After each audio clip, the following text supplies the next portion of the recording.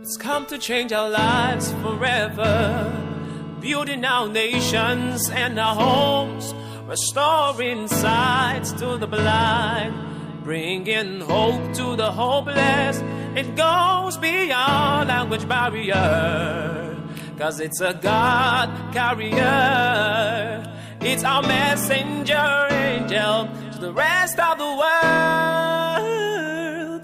Rhapsody, our reality is giving our lives a meaning. Rhapsody, our reality is giving our day a lift, directing our path, enlightening our world. Rhapsody of reality.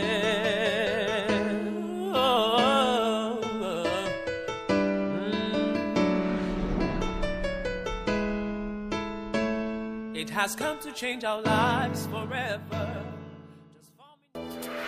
Coming up on Rhapsody of Realities. You see, when you have the love of God on the inside of you, you know, if you're compelled by the love of God, there are certain things you will do. Yes. You will do things that focus towards pleasing the Lord. Amen. There's so much more coming your way in the month of July on your favorite devotional program Uganda, Rwanda, Tanzania, and Kenya, all in East Africa. Bring you God's Word from the world's number one daily devotional Rhapsody of Realities. From East Africa, we'll be reaching you with the number one daily devotional, Rhapsody of Realities. Inspiring you from day to day with insightful teachings and revelations contained in the Messenger Angel. The greater one lives on the inside of you. Therefore, you are an overcomer. Therefore, you are a winner. Listen to your favorite devotional in 14 different translations in Eastern Africa, weekend specials, and so much more. Stay tuned.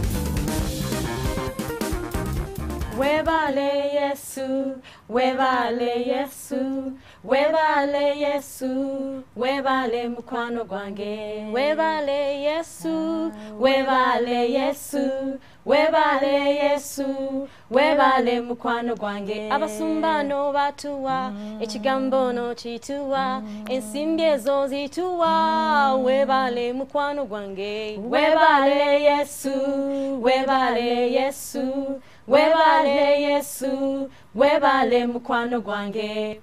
Twalamusiza banyabo ne bassebo the song we just sang is a beautiful song from the land of uganda the pearl of africa. The song was thanking jesus for coming to die for us. Mm. It is a beautiful song. Praise the lord. Hallelujah. Uganda is a beautiful nation. It's naturally endowed with beautiful landscape, beautiful wildlife, and above all, we are so excited for the daily devotional Rhapsody of Reality. This month from East Africa, we'll be reaching you with the number one daily devotional Rhapsody of Realities.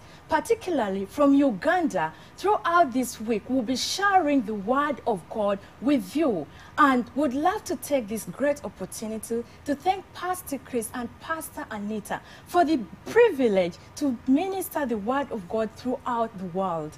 we'll take a short break and when we come back we'll take you through the day's devotional stay tuned Join us in the month of July as East Africa plays host to your favorite devotional program, Rhapsody of Realities. Uganda, Rwanda, Tanzania, and Kenya. It's a celebration of God's Word. Stay tuned. Enjoy an awesome time studying God's Word with the world's number one daily devotional using the Rhapsody of Realities mobile application, available for your iPad, iPhone, Blackberry, and Android mobile devices. To use the mobile app, get on the App Store suitable for your mobile device, whether it's the iTunes Store, Blackberry App World, or the Android Market. Download the Rhapsody mobile app and then create an account. Log in with your new account and then make your purchase of the devotional by clicking on Store. Choose the edition of Rhapsody of Realities you want to buy, and voila! you're ready for an awesome experience with God's Word. Now, don't forget the added features on the app your Bible study tool, the Rhapsody Web TV. You can share your testimonies on the app. You can also send in your prayer requests, and so much more. It's a whole new world, so stay connected today. For more information, please call the number on the screen or send us an email to rhapsodyappsupport at rhapsodyofrealities.org. Welcome back, viewers. Today is Monday, July 2nd. Pastor Chris shares a very important thought with us. Pastor says, Seek to please the Lord, not men. A very thought provoking message, I must say, Julie. Mm, hallelujah. And the opening scripture is taken from Acts chapter 13, verse 22. And when he, God, had removed him, Saul, he raised up unto them David to be their king, to whom also he gave testimony, and said, I have found David, the son of Jesse, a man after my own heart, which shall fulfill all my will. Hallelujah. Praise the Lord. Pastor Chris goes on to share with us today what are the motives behind your actions? Mm. Why do you do the things you do? The motivation behind your aspirations matters. Yes. Hallelujah. Praise the Lord. Motives should be reasons behind everything that you do. What is the reason behind Mm. What every do. step you take in your life? Every action you take in your life. Mm. What could be the reasons behind it? Praise the Lord Jesus. Hallelujah. Hallelujah. Praise the Lord. Pastor goes on to share with us in the day's devotional. He says, writing to Timothy, his protege, the Apostle Paul made this remarkable statement I thank Christ Jesus our Lord, who hath enabled me, Hallelujah. for that he counted me faithful, hmm. putting me into the ministry. Hmm. Praise the Lord. Hallelujah. First Timothy chapter 1 verse 12. Hmm.